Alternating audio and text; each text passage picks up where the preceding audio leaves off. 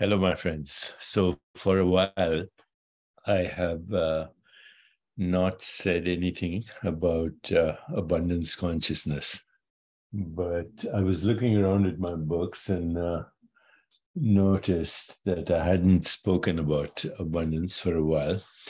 And now that, uh, you know, we seem to be in a financial crisis and everybody's kind of worried about money, I thought I'd share with you the secret to almost infinite abundance.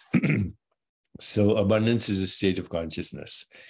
Money is one of its symbols, but abundance means abundance at all levels, including uh, security, safety, sensuality, sensual delight, uh, the ability to transform, love, belongingness. Uh, insight, intuition, creativity, higher consciousness, transcendence. Along the way, you know, the Vedanta says four goals of life dharma, life purpose, artha, um, material success, including money, kama, sensual delight, and moksha, freedom from suffering, freedom from the conditioned mind. So, money is part of the whole abundance consciousness. Uh, it's one of the symbols, it's how we exchange values.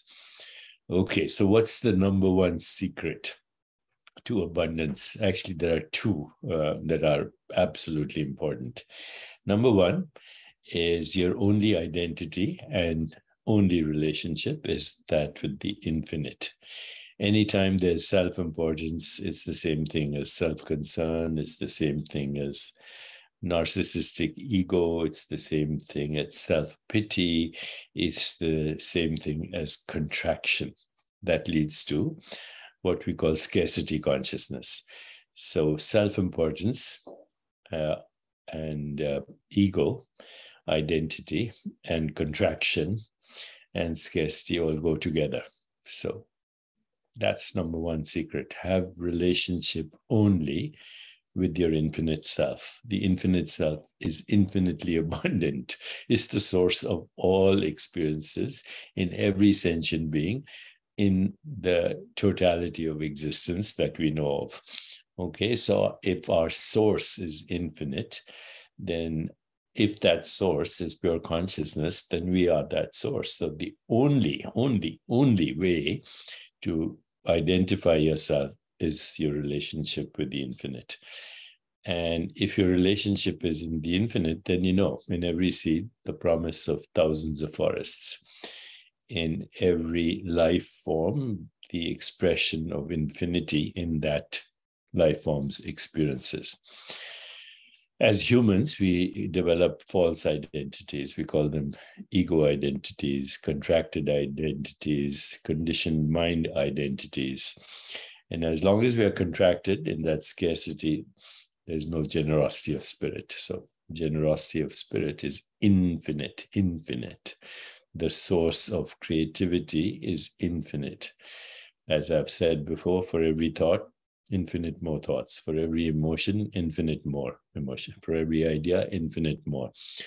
For every little piece that you give, connection with generosity of spirit, it returns multiplied, multiplied. It's like throwing seeds. The more you uh, express generosity of spirit, the more it multiplies. The second secret, and this is equally important, is every day ask yourself, what am I grateful for?